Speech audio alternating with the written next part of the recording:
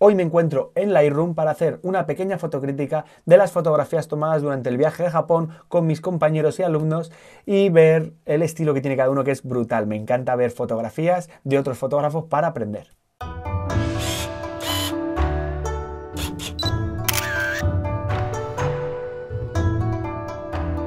Pero antes de empezar, recordaros que estas fotografías son de alumnos y de compañeros que han venido conmigo de viaje, que ya me los conozco, que sé de qué pie cojean y que bueno, les voy a dar un pelín de caña en unas partes que hagan falta, pero generalmente son fotos muy chulas que van a describir a cada uno. Aquí las podréis ver, pero si no conocéis a la persona, no conocéis qué piensa o qué quiere transmitir con las fotografías, pueden ser fotos como más eh, sencillas, pero creerme que una vez que le sacáis partido y podéis eh, reconocer al autor en sus fotografías porque tiene un estilo propio, es una gozada poder verlas y analizarlas de esta forma. Vamos a empezar por las fotografías de Bea, que en este caso, fijaos cómo crea detalles de la cultura, ¿no?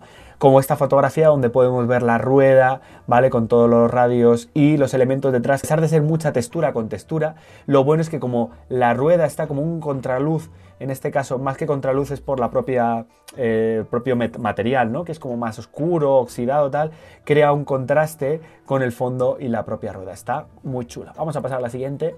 Igual, tenemos aquí una fotografía de unos señores eh, que a pesar de que tenemos un montón de textura detrás, pues tiene su historia, ¿no? Que estaban cerca del, teatro Kabuki, si no, quiero, si no recuerdo mal. Lo único malo, algún pero por encontrar aquí, que está un poquito asfixiado, pero son fotografías que son súper rápidas. Entonces, claro, muchas veces se nos puede quemar un poquito a lo mejor la chaqueta en las altas luces, o puedo cortar, que son fotos súper rápidas que, que tenemos que estar así. En este caso, además, si yo trabajo en manual, puedo entender que la gente que trabaja en fotografía más callejera tiene un semiautomatismo para capturar la toma antes que ponerse a valorar más en los parámetros. Y en este caso la pillo un pelín el toro, pero vamos, la foto está muy chula, la composición. Vale, pasamos a la siguiente.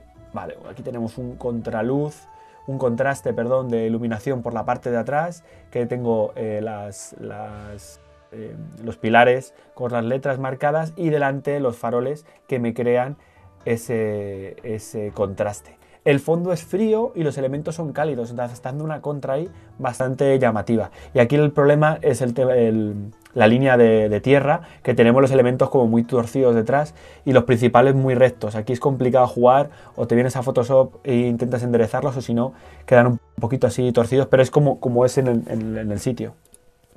Un punto de fuga, súper clásico, líneas de tren hasta el infinito. Además, parece que buscamos más allá, eh, nos perdemos en la fotografía, buscamos el final del todo y está muy bien.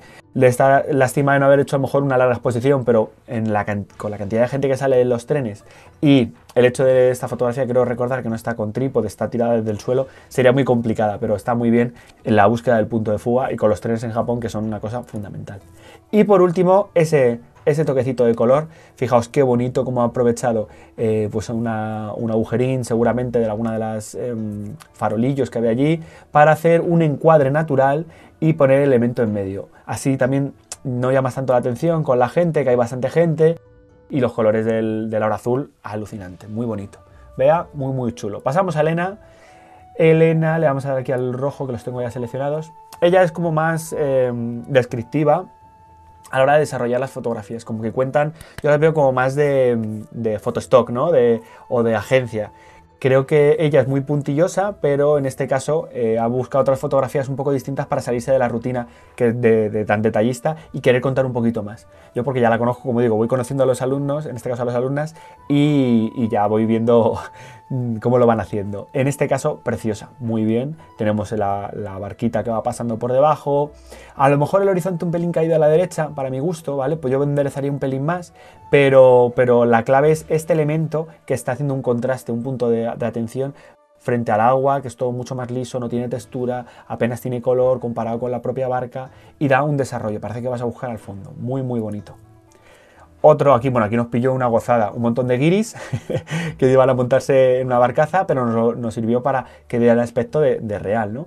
Sí que es cierto que este barco, de aquí a lo mejor nos molesta un poco, ya depende del, purismo de cada uno a la hora de eliminar, de eliminar elementos, ¿no? Ella lo ha dejado tal cual, perfecto, y queda ellos estos aquí como están empujando, casi que era como un triángulo ¿no? de, estos elementos, aunque hay un montón de gorritos y hay otro que se mezcla con el resto, pero está creando casi un número impar al tener un triángulo aquí bastante, bastante chulo, con el elemento detrás, con, la, con el tori enorme, para, para, darle, para dar la contra. Muy, muy bonito, me gusta. A lo mejor un pelín de espacio arriba, pero a lo mejor esta foto un poquito más panorámica.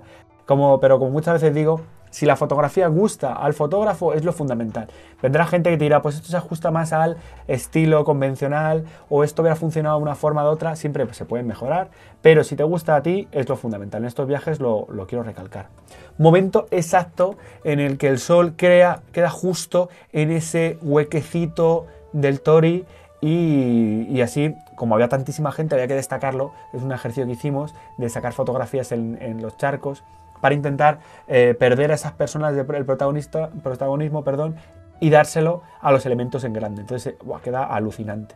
Un pelín de viñeteado alrededor y a lo mejor pues yo le había dado un poquito más de color, pero como siempre digo, es un poco más a gusto. Muy, muy chula el elemento al centro. Precioso este abanico, como, como destaca la modelo. Eh, bueno, la modelo, en este caso son gente, como digo, que va de domingueo, que se visten eh, con las ropas típicas y pues como, como, el que se viste bien arregladito aquí, pues igual, ¿vale? Precioso, el recorte exacto y, muy bien, la verdad. Mirando un lateral, si estuviera mirando al, al fotógrafo parecería más posado, pero aquí está genial. Y son fotografías en la calle. Y por último, punto de fuga, este día fue complicado porque todos los stories que teníamos aquí está, teníamos un sol bastante fuerte y para salvarlo pues está muy bien salvado, tenemos unas marquitas y al final las personas ahí que estaban como si estuvieran pues esperando lo que sea. Era muy complicado, mira que me eché una carrera bien larga con Elena para intentar quitarnos los primeros kilómetros de gente, pero había mucha gente y o llevas un trípode y haces mal a la exposición o si no pues bueno, se te pueden colar algunas personas. Pero muy bien, muy chulo. Distinto Elena a lo que yo te suelo ver, o sea que muy bien me gusta. No digo que no me guste lo que te suelo ver, ¿vale? Pero que he visto que te has, intentado forzar para, buscar otra toma distinta. Vamos con Esther, ¿vale? Esther lo que hace sí que es todavía mucho más grande. Lo expresa todo como más, eh, más bloguera. A mí me gusta porque como que te cuenta todo mucho más a, lo grande.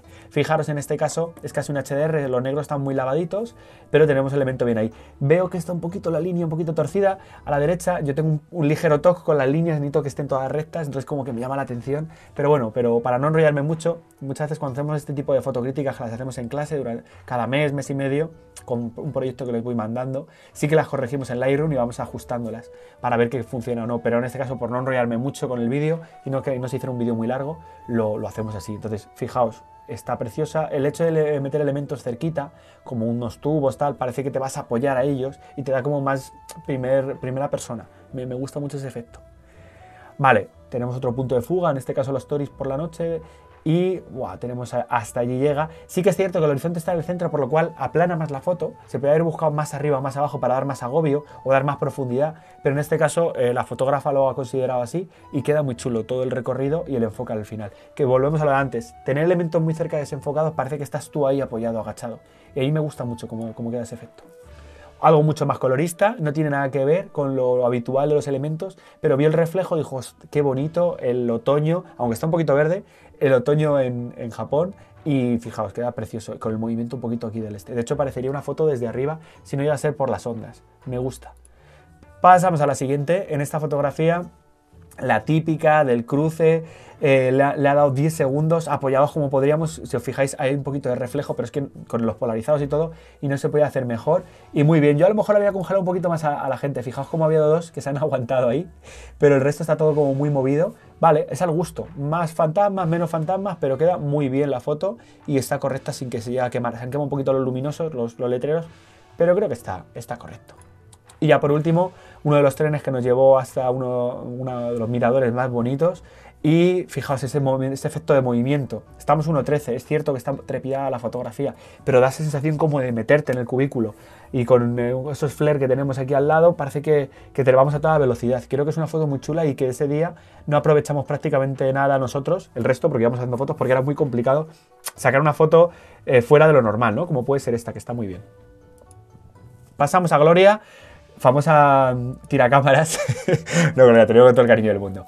Eh, ella trabaja más las personas, le gusta un montón el retrato, es muy trasto y, tiene muy, buenas herramientas para, para pues, la sonrisa que tiene y el, trato con la gente y demás, atrae mucho, entonces llama mucho la atención y, si os fijáis prácticamente todas las fotografías tiene que tener por narices una persona o un elemento humano en ello para, para poder transmitir. Aquí preciosa la mirada, preciosa ese momento de vergüenza de la niña, me parece brutal, muy muy bien tomada. A lo mejor me suena un poquito despacio aquí, pero sí que es cierto que si no agobiarías a la niña, pero está muy bien.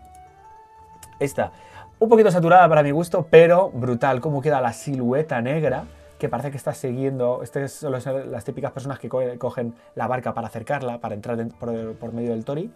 Y cómo ha metido el azul rompiendo con el resto. Así que, como digo, para mí está un poquito fuerte pero brutal, muy, muy chula. Ya si hubiera estado el barco del medio, muchas veces digo, y sí, y sí, guau, hubiera quedado genial por la persona esperando. Pero bueno, pero está muy bien. Me encanta cómo crea el contraste de la, de la silueta.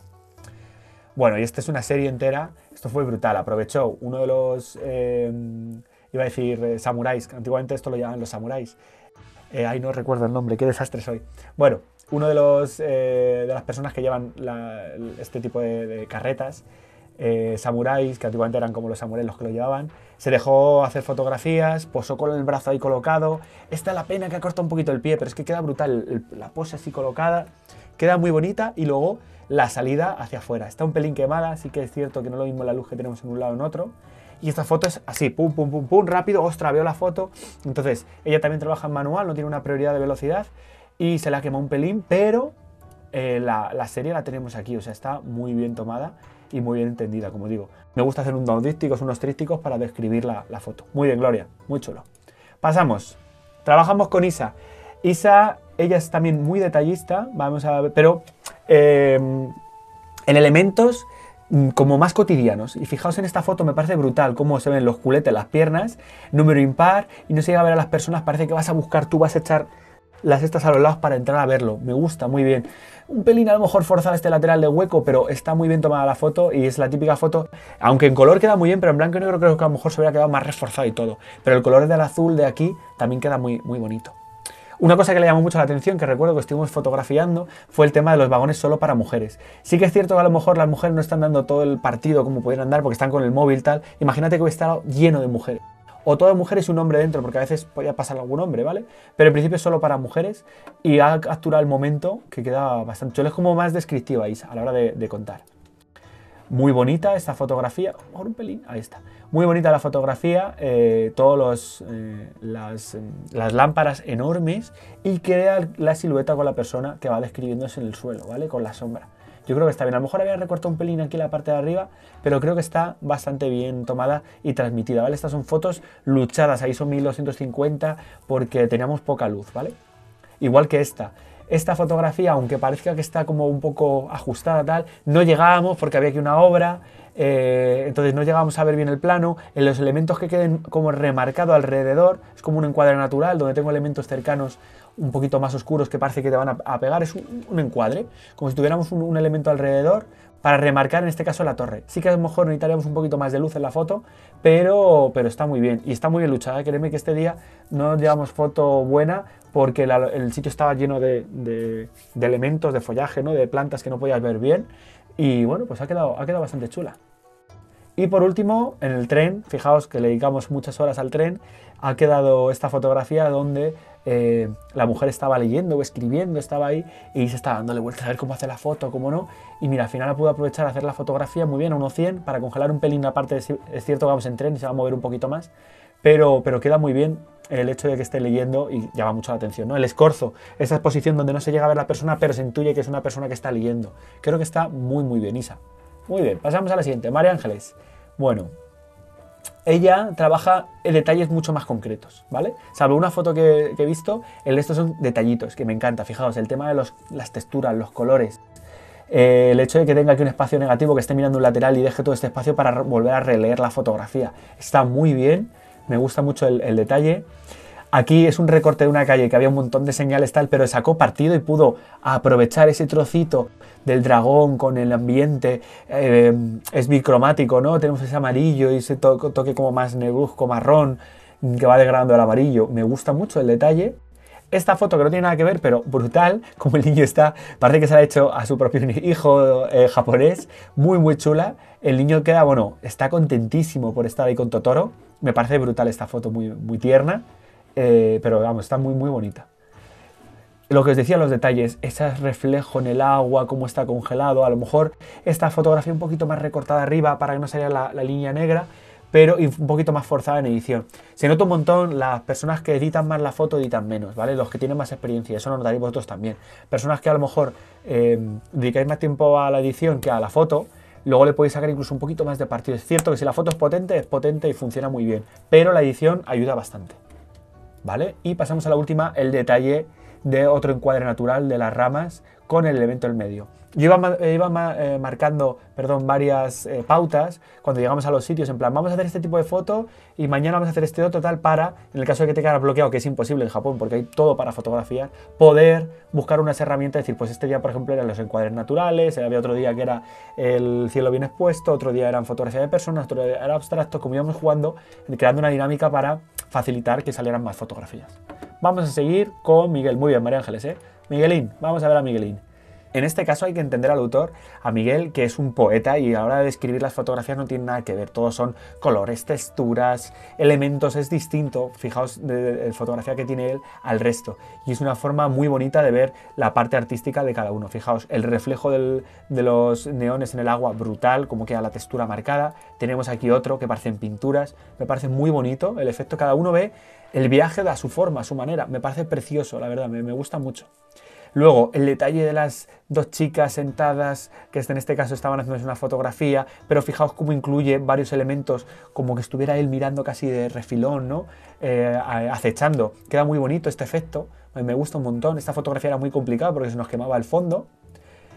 Fijaos que no salen personas, o sea, quiere decir, salen personas, pero no se le ve el rostro. Todas las fotografías que toma el de las personas o de los detalles son como eh, muy genéricos para que el espectador entienda lo que, lo que, lo que le transmita, ¿no? lo que le sugiera. Esta fotografía, si ves a la modelo, puedes transmitirte una cosa u otra, pero al tener la cara tapada y el cuerpo así colocado, no sabes exactamente eh, hasta qué punto te puede transmitir una cosa u otra. Me parece muy chulo. Y luego el detallín de los cascabeles en la parte de los stories de, la, donde estuvimos del cementerio, por así decirlo brutal, muy bonito y, ha aprovechado los detallitos. Habría gente que buscaría las fotos en general, que está también muy bien, pero él va al detalle, a la textura, al elemento, a transmitir de una forma distinta. Destacaros que mi viaje fotográficos al final es una suma de experiencias, de fotografía, de localizaciones, de cultura. No se ciñe únicamente a ir a un sitio 8 horas o 4 horas hasta que salga la foto, pum, pum, pum. No, no, no.